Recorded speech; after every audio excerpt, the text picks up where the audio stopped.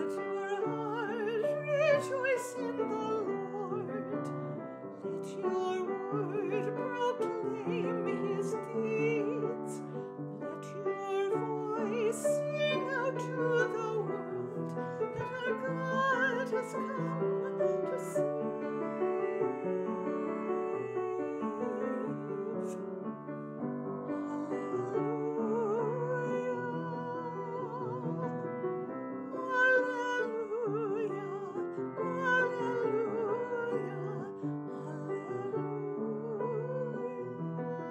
thank you